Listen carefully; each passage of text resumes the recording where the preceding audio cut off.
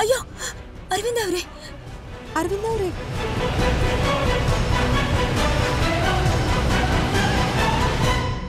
ಅರವಿಂದ ನಾನೇನು ಅನ್ಕೊಂಡ್ರೆ ಇಲ್ಲೇನೋ ನಡೀತಿದ್ಯಲ್ಲ?